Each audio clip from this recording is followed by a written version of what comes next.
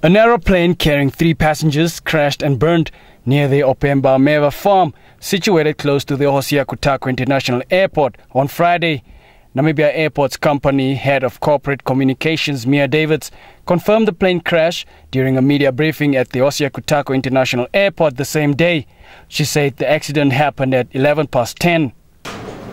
Type of aircraft Cessna 425, registration number V5 MJW. Flight number A707 slash 1.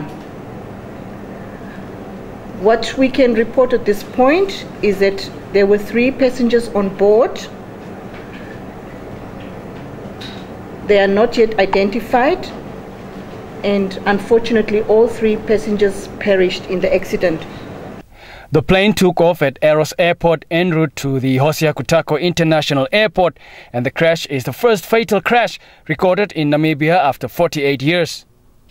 In April 1968, a Boeing 707 crashed around the same vicinity, killing most of the passengers on board, according to Norman Pule, a manager of operations at the Hosea Kutako International Airport.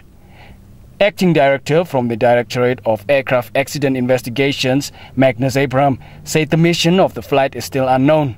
We'll get to replay the radar as the aircraft got airborne from Eros up to where it went down with the levels, the times, and everything. So we've got quite that high tech equipment at the moment that will be able to establish what really went wrong.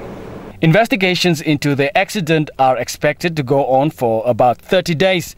George Hendricks, Nampa News, Hosea Kutako International Airport.